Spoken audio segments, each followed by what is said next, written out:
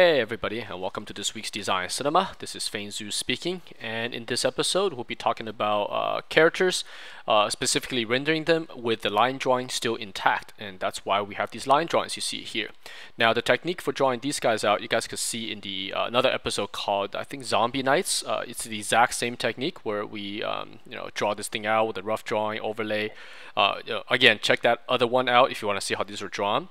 So these are kind of the designs of these guys are sort of uh, very video game based. They're very exaggerated. These are not real human proportions, but extremely pushed. Like this guy here is the big buff dude that you see in all the video games, and then we got the sexy girl who's usually a rogue or some kind of archer in games, and then you have the the stereotypical hero guy. So it's just kind of you know these designs are not out of this world or anything, but I think that's easier to showcase um, to you guys the difference in terms of silhouette and as well as uh, design finishing when we get to the rendering stage. So what I'm doing right now is just isolating the drawing out. Uh, this is basically the same thing as painting a mask because we use the mask to do all sorts of uh, different things too. When we start painting, texturing, uh, putting highlights, the mask will allow us to paint within this uh, drawing and not go into the background. Uh, because especially for characters, a lot of the uh, marketing department would like to pull these out for usage in, for example, in a magazine or on a website. So by keeping them on a layer, it's uh, very helpful for that. So that's why this mask is, is there. Uh, now, as far as line drawing goes, line drawing, I think painting with line drawing still intact is a little bit more rare than a few years ago when this stuff was really in before digital painting took off. Uh, so everyone used to do line drawing. I mean, I did line drawings for years before moving to digital. Uh, but nowadays, you're seeing more and more characters that are painted completely from scratch. There's no line drawing at all, which maybe we'll get into next week. Uh, I think the main uh, the reason for that is one, digital, I mean, completely painted characters look very cool, and two, it's actually faster, at least for me. In the time to do these three characters here, to paint them up in line drawing, I could probably do double the amount if we started this completely with paint. All right, the the reason for that is because line drawing, you cannot hide things. Every single line must go somewhere, right? You can sort of indicate some stuff here and there with line drawing, but you really can't hide much of the information. Whereas a painting, you could do indication, and that's what painting is, is, is a series of lights, right? How does your eye perceive certain things? So you might not need to paint the back of this guy's boots or even the, uh, the sleeves and all these. You could just indicate just around amount of light that comes out from those areas, and the human eye will pick those areas up as a, as a sword or a shoe or whatever you want right? So painting actually stroke-wise in terms of how much line work or brush mark you put on the page, sometimes a painting has a lot less uh, mark per per say pixel than a line drawing does uh, has. So and that's why line drawing essentially takes a lot longer for me to do. So even this drawing here, each drawing took about at least uh, hour, about an hour to draw. Uh, so that's that's a long time. In an hour, we could do a production painting. You know what I'm saying? So it's so that's why if, even from a client perspective, they prefer the uh, the the drawing, I mean the painting stuff. So here they're all isolated. I'm just gonna clean stuff up, and then very soon I'm gonna bring in a texture pass, which you'll see me do in, in a few seconds here. Right. So I'll talk about the the, the technical stuff uh, as we go, and then as the, the three of these are going to be repeats, right? We're going to start with the big guy and then we're going to repeat. Okay, so here's the texture pass.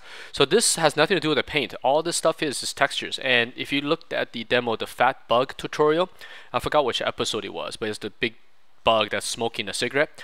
That has the same technique inside in which we bring in a bunch of photo scrap to allow us to, for two things. One, to give us teeth on the canvas so we're not painting on a smooth uh, gray background, which is you know very slippery in terms of just kind of the physical feeling of the of the uh, canvas. So this gives us grip, and two, it gives us local values. You know th that's similar to what I want to achieve. See, these photos have nothing to do with what's underneath, right? Their their perspective doesn't match, their details doesn't match. It doesn't matter. What I'm going for here is the teeth. It's kind of like the same thing as you as we do a production painting, and we kind of scruff out the canvas. It gives uh, it gives the uh, brush a bunch of uh, areas to grab. So now I'm going to use those underlying textures and then paint what's uh, paint what's really there. So the armor, the forms that we developed, right, ignoring what's underneath. Uh, some of the some of the textures definitely come through, and that's part of the look. That's you know kind of interesting um, effect that you get as a result of, of this technique. So. So now I'm just taking a um, chalk brush, the same brush I used to do my production paintings, and uh, start knocking those things back in right? Getting rid of the texture underneath and painting uh, over the forms that I have designed in the line drawing. So again, the final presentation will have the line intact.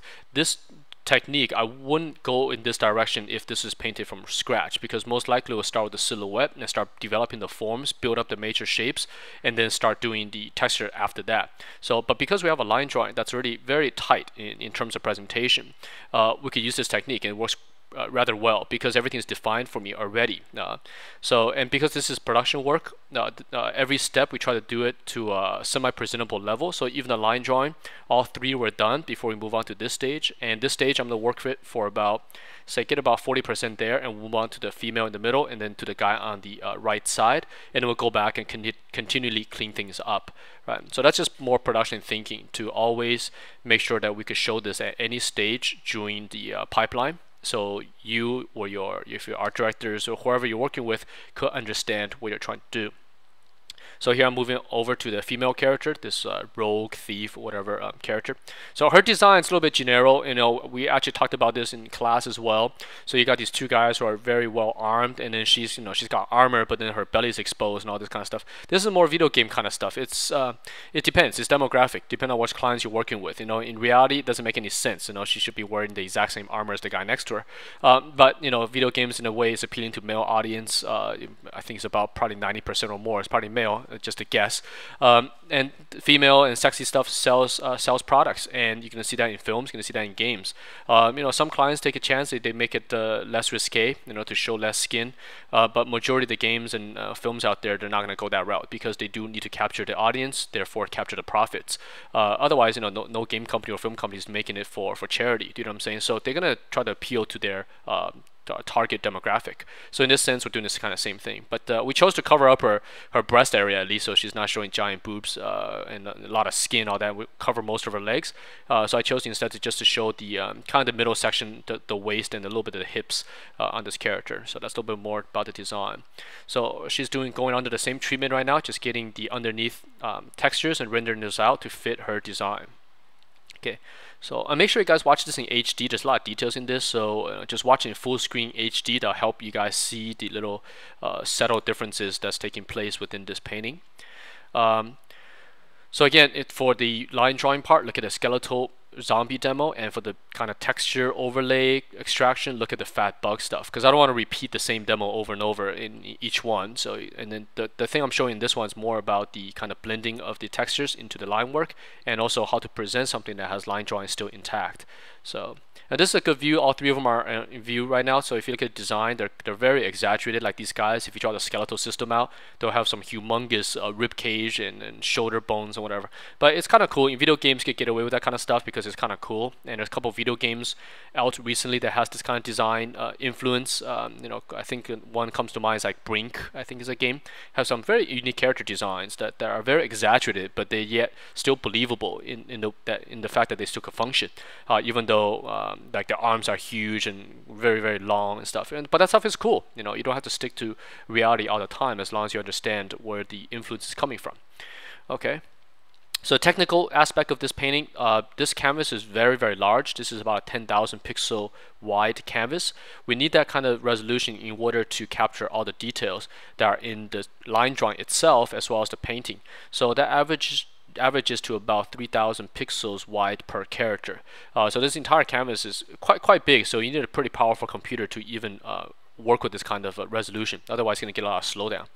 So again, the, DP, uh, the DPI doesn't matter. In digital, DPI is meaningless because uh, we don't you know, uh, that's a very old term. Now it's all PPI, pixels per inch. So a pixel per inch in this painting then therefore is very, very high.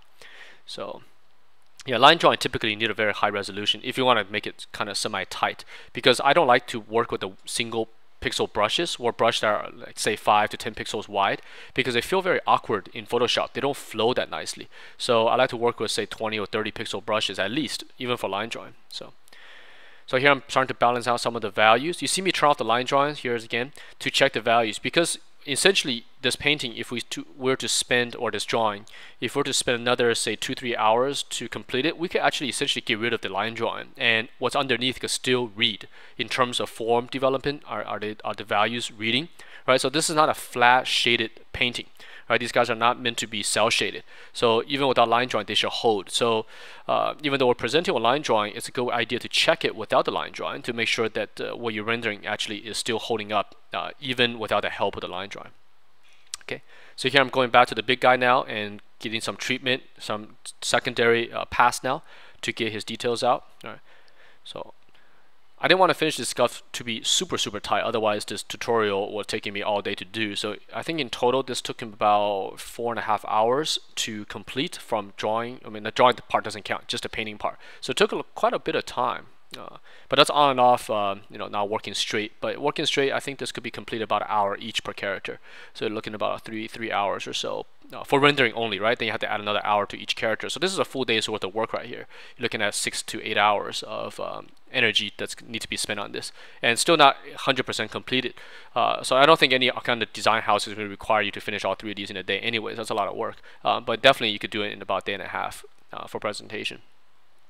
Okay, so here we're just gonna go through and uh, clean things up. And I'll try to take this chance to answer some of the questions I'm seeing on YouTube. So instead of me typing it, I think I just uh, save uh, verbally, much faster.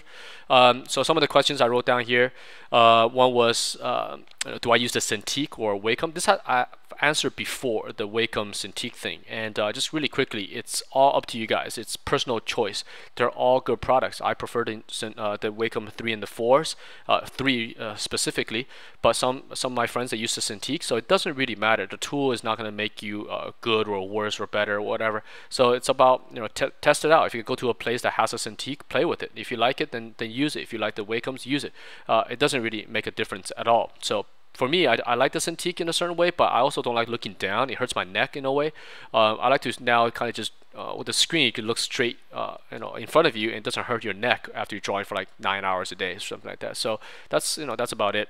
Um, Another thing, this is more pertaining to our school questions, which is do we use textbooks and uh, or anything like that to help our students? And the question is no, we really don't have textbooks. Our textbooks are things like National Geographic, Popular Mechanics, uh, you know, Popular Science. Uh, these are kind of the uh, the resource material because design is about understanding, and uh, the textbook stuff will teach you live in class. You know, the, these demos, like for example the one you're watching now, that's our textbook. But to know what to draw, what kind of detail to put, what kind of functionality, that has to come down to the uh, the reference material, which is which magazines like National Geographic is great at. Uh, let's just back up a bit, a little bit. Um, you notice I've turned the guy into black and white. That's essentially the same thing as painting in black and white. So it allows the eye to check for values. So another way to check values is just to blur your eye. If you blur your vision, you can see if the forms are turning or not, or if something very, very flat. Yeah. So a little bit harder with line drawing because the line drawing is always going going to uh, distract you a little bit from the forms turning. So that's why I turn off the line drawing whenever I check the value. Um, okay, let's go back to another question here. Uh, one was the age thing. You know, is it too late to get into the business if you're already like say over 30 years old? And the answer to that is never, right? You can always do this kind of stuff. Uh, I've had students in the past uh, in the States who are much older than I was when I was teaching. You know what I'm saying? I had a guy who was, I think, over 50 years old uh, switching careers. But the guy uh, was doing something similar in the, in Hollywood. He was a more of a model builder, uh, built a lot of stuff in a lot of films. But he decided to uh, change his skill set, and he became really, really good. You know, because he worked hard at it. And uh, I think he eventually went to Sony or somewhere to to do design. So it's never too late to do whatever. So like the last video I said, you know, you only live once. So if you don't like what you're doing, do something else. You know, saying then it's not just concept art, whatever you want to do. You know, so like for me, I always want to fly airplanes, and uh, one day just decide to drive down to the airport and go, you know what? Let's just let's just sign up to to learn how to fly airplane. You know, just try it. It's uh, you know from the outside looks intimidating, but once you jump into it, it's like anything else. It's it's a process, and if you can stick to the process, you most likely can learn learn the technique, right? So, all right, next question is uh, you know uh, color on different PCs, which uh, I think what they meant is that on different screens, the color or the values look different and that is true. So that's why I recommend you guys to get a screen that's very very nice. Uh, for me I always use Mac screens. Those screens are color balance very very nicely. Uh, and these days you could plug in Mac screens to PCs right? I'm actually rendering everything on I mean the machine itself are PCs like I use Alienwares for uh, most of my uh, equipment. Uh, but the but the screen themselves are are um, Macintosh are uh, from the Apple right? So the cinema displays because their colors are very well balanced. Uh, another thing you could do I mean there's really nothing you could stop from you know, there's no way to 100% guarantee that what you have is correct because you might look right on your machine, but you send it to your clients and they have a you know some monitor monitor that's not adjusted, and they'll they'll call you up and say it looks too dark. There's nothing you can do about that. Um, but that's why in most studios you go to, like you go to EA or Ubisoft, um, they generally like to print stuff on the wall, so that way everyone can see it the way it's meant to be, right? Because you're in charge of the print, so you could kind of look at it to see if it's too dark, too light, too too saturated.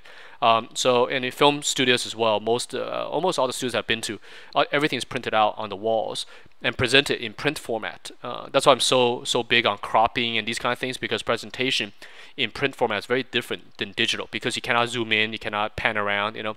So you have to maximize the printing space. Um, so yeah, that's kind of how we get around the uh, the color thing is by printing. Uh, but yeah, get yourself a nice monitor. A nice monitor will help a lot in that aspect.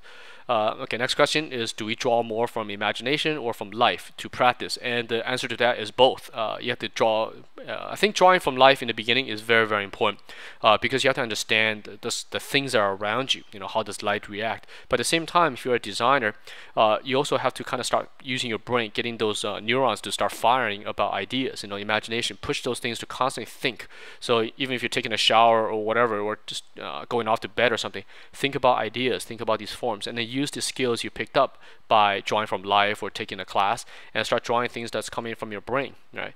And that kind of leads to the next question, which is again, this one's back to our school again, uh, is what kind of portfolio do we look for in a in a in an entrance studio, uh, a student? Um, and for that, it's all about the brain, right? The technique itself, that's what the school is here to teach you. We're, we're going to teach you how to draw well, how to render well. But the thing is, the idea, how good is your brain? Are you fit for a design career, or is it more of an illustration uh, career that the, our student is after, right?